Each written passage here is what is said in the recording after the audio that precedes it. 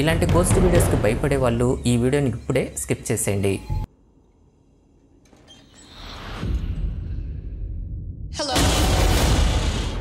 హాలీవుడ్లో హర్రర్ సినిమాలకి కొత్తవే లేదు.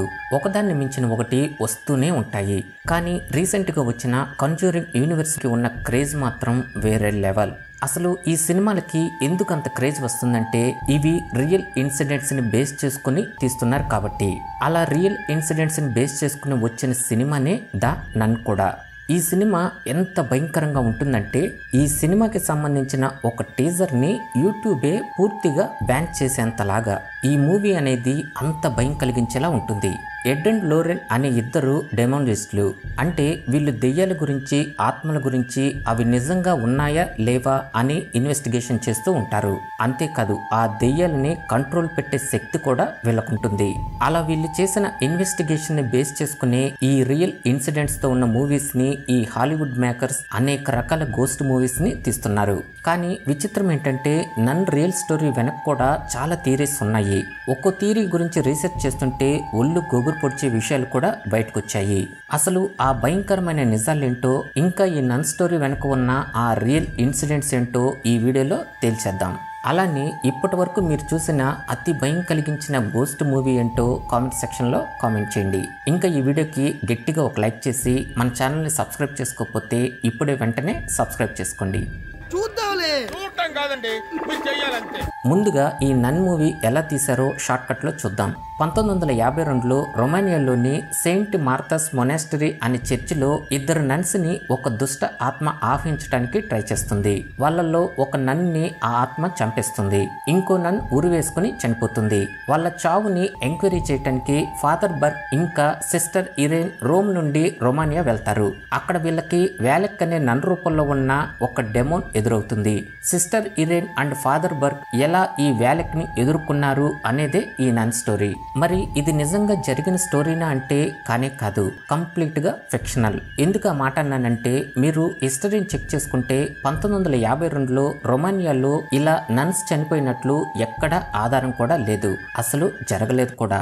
కానీ కొన్ని రియల్ ఇన్సిడెంట్స్ని బేస్ చేసుకొని ఈ నన్ క్యారెక్టర్ని క్రియేట్ చేశారు అండ్ సినిమాను కూడా తీశారు. ముందుగా ఈ నన్ క్యారెక్టర్ గురించి తెలుసుకోవాలంటే ద నన్ మూవీలో ఈ నన్ని నరకం నుంచి తప్పించుకోవటానికి ట్రై చేస్తున్న ఒక డెమోన్ లాగా చూపించారు. కానీ వాస్తవానికి ఈ నన్ అనే దయ్యం డైరెక్టర్ జేమ్స్ వ్యాన్ క్రియేటివిటీ నుంచి పుట్టింది. ఈ నన్ని మొట్టమొదటిసారిగా కంజూరింగ్ టూలో చూపించారు. సో ఈ కంజూరింగ్ టూ కోసం జేమ్స్ వ్యాన్ రీసెర్చ్ చేస్తూ లోరెన్ వ్యారన్ చెప్పిన ఒక ఇన్సిడెంట్స్ని విన్నాడు.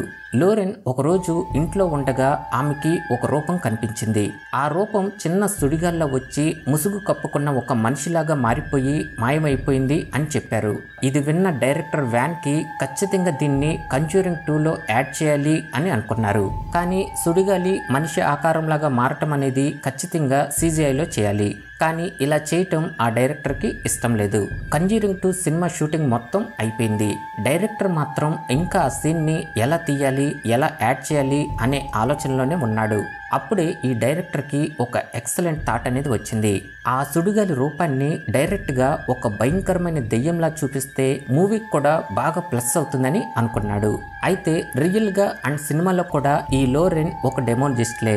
సో అంత ఈజీగా ఈమె భయపడదు. ఈమెని భయపెట్టాలి అంటే ఈ దెయ్యం రూపం లోరెన్ యొక్క ధైర్యాన్ని నమ్మకాన్ని దెబ్బతీసేలా ఉండాలి. అలా గట్టిగా ఫిక్స్ అయి ఆలోచిస్తున్న డైరెక్టర్ వ్యాన్కి ఆ దెయ్యాన్ని ఒక నన్గా చూపించాలి అనే ఆలోచన ఆలోచన వచ్చింది. దీనికి కారణం ఏంటంటే నన్నంటే సన్యాసిని. క్రిస్టియన్ మతంలో నన్నుని చాలా పవిత్రంగా చూస్తారు. వీళ్ళు ఎప్పుడు దేవుని సేవలోనే ఉంటారు.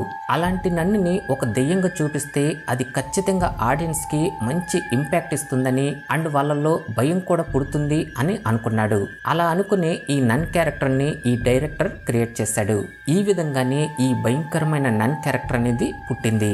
ఇక నన్ దెయ్యంలా ఎలా ఉండాలి అనేది ఒక రియల్ గోస్ట్ ఇన్సిడెంట్ నుంచి ఇన్స్పైర్ అయ్యి నన్ లుక్ని డిజైన్ చేశారు. ఇదంతా ఈ డైరెక్టర్ కొంత ఫిక్షనల్గా కొంత రియల్ ఇన్సిడెంట్స్ని బేస్ చేసుకుని క్రియేట్ చేశాడు. ఈ డైరెక్టర్ ఇలా క్రియేట్ చేయడానికి గల కారణం కూడా కొంతమంది నన్స్కి జరిగిన ఇన్సిడెంట్సే ఆ నన్స్కి జరిగిన కొన్ని హార్బుల్ కారణాల వల్ల వాళ్ళు ఎలా చనిపోయారు ఇంకా వాళ్ళు ఎలా దెయ్యాలుగా మారారు అని అక్కడ ప్రజలు నమ్ముతున్నారో ఇప్పుడు చూద్దాం. ఫ్రెండ్స్ ఒక స్మాల్ ఇన్ఫర్మేషన్ ఆర్గానిక్ ఫుడ్ని తినాలని ఇప్పుడు చాలామంది వాళ్ళ హెల్త్ మీద కేర్ తీసుకుంటున్నారు. రీసెంట్గా నేను ఈ రేస్విన్ యాప్ నుంచి కొన్ని ఆర్గానిక్ ప్రోడక్ట్స్ని పర్చేజ్ చేశాను. వీళ్ళ ప్యాకింగ్ కానీ క్వాలిటీ కానీ నాకు చాలా బాగా నచ్చింది. అలానే ఇందులో త్రీ నైన్టీ నైన్ పెట్టి పర్చేజ్ చేస్తే అందులో ఉండే ఏ ప్రోడక్ట్నైనా కేవలం వన్ రూపీతో బై చేసే ఆఫర్ కూడా ప్రస్తుతం నడుస్తుంది. ఈ వన్ రూపీ ఆఫర్ని మాత్రం మీరు అస్సలు మిస్ కాకండి. ఈ యాప్లో మీకు మిల్లెట్స్ డ్రై నట్స్ ఇన్స్టెంట్గా కుక్ చేసుకునేవి అలానే పికిల్స్ కూడా ఈ యాప్లో మీకు దొరుకుతున్నాయి. ఒకసారి డిస్క్రిప్షన్లో ఇచ్చిన లింక్ని క్లిక్ చేసి అందులో ఉన్న ప్రొడక్ట్స్ని మీరే చెక్ చేయండి. ఇంకా ఇందులో డైటేషన్ కన్సల్టేషన్ కూడా ఫ్రీగా ఉంది. డిస్క్రిప్షన్లో ఇచ్చిన యాప్ లింక్ని ఇప్పుడే ఇన్స్టాల్ చేసుకుని హెల్తీ అయిన ఆర్గానిక్ ప్రొడక్ట్స్ని ఇప్పుడే పర్చేజ్ చేసుకోండి. ఈ రియల్ ఇన్సిడెంట్ కొన్ని వందల సంవత్సరాల క్రితం స్కాట్లాండ్లో ఉన్న సెయింట్ ఆండ్రూస్ అనే పట్టణంలో జరిగింది. ఈ సెయింట్ ఆండ్రూస్లో చాలా అందంగా ఒక లేడీ ఉండేది. ఇంత అందంగా ఉన్న ఈమెని చాలామంది ప్రేమిస్తున్నాము అని వెంటపడేవాళ్ళు. కానీ ఆమెకు మాత్రం ఎవ్వరూ నచ్చేవాళ్ళు కాదు. ఇక ఆమె ఎవ్వరికి ఒప్పుకోకపోవటంతో రాను రాను ఆమె అందం చూసి యువకులు ఇక ఆమెని వేధించటం మొదలుపెట్టారు. అది ఎంతలా అంటే చివరికి ఆమెకి జీవితం అంటే విరక్తి వచ్చేంతలాగా వీళ్ళు పెట్టే బాధల్ని భరించలేక అలానే ఇష్టం లేని జీవితం బ్రతకలేక చివరికి తను ఒక నన్గా మారిపోయి ఆ దేవునికి సేవ చేసుకోవాలి అని నిర్ణయించుకుంది. కానీ తను అలా నన్నుగా మారినా కూడా ఆమెని వేధించటం అస్సలు ఆపలేదు. దీనంతటికీ కారణం తన అందమే అని తను తెలుసుకొని తన ముక్కుని లిప్స్ని కత్తితో కోసేసుకొని తన ముఖాన్ని అందవికారంగా అయిపోయేలా కాల్చేసుకుంది ఈ ఆకతాయిలు చేస్తున్న వేధింపులకు తొందరపాటుతో తన ముఖాన్ని వికారంగా ఉండేలా చేసుకున్నాక తన ముఖం చాలా దారుణంగా వికారంగా అయిపోయేసరికి ఇక ఆమె జోలికి ఎవ్వరూ రాలేదు. ఆ తర్వాత తను ఈ సెయింట్ ఆండ్రూస్లో ఉన్న చర్చిలో నన్నుగా మారిపోయి ఆ దేవునికి సేవ చేసుకుంటూ బ్రతకటం మొదలుపెట్టింది. కానీ కొన్ని రోజుల తర్వాత తను చేసుకున్న గాయాలకి ఇన్ఫెక్షన్ అవటంతో ఆ లేడీ చాలా నరకాన్ని అనుభవించి చనిపోవటం జరిగింది. ఇక అప్పటి నుంచి తన ఆత్మే ఈ సెయింట్ ఆండ్రూస్లో నన్ రూపంలో తిరుగుతూ అప్పుడప్పుడు భయంకరమైన రూపంలో కనిపిస్తుంది అని ఇక్కడ ప్రజలు నమ్మటం మొదలుపెట్టారు. ఇదే కాదు ఇలాంటిది ఇంకో ఇన్సిడెంట్ కూడా జరిగింది. ఈ ఇన్సిడెంట్ సౌత్ ఇంగ్లాండ్లోని బోర్లీ అనే చర్చిలో జరిగింది.